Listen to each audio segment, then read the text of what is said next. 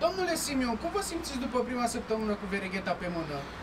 Mă simt extraordinar, mă simt mai liber decât înainte, mai hotărât, mai sigur pe mine, singurul politician din România incoruptibil. De unde ați avut bani să organizați o nuntă așa de mare? De la prieteni. Eu am prieteni români, prieteni de aur.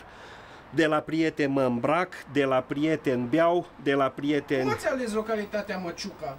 Am avut uh, o alternativă, era uh, Peștera Muierii, dar am preferat Măciuca, un nume cu rezonanță dacică.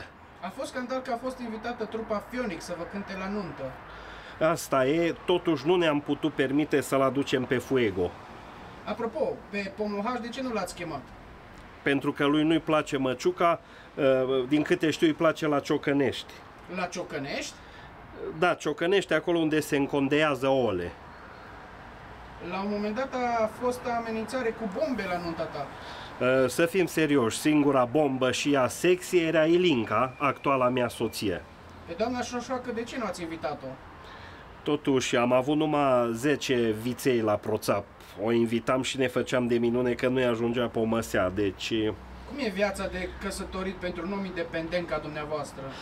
După cum se vede, susțin familia tradițională în continuare, dar sunt la fel de liber, sunt un om valoros care o să facă multe pentru țară, nu-mi pasă de nimic, merg înainte cu credință, cu tot ce trebuie, nu-mi pasă...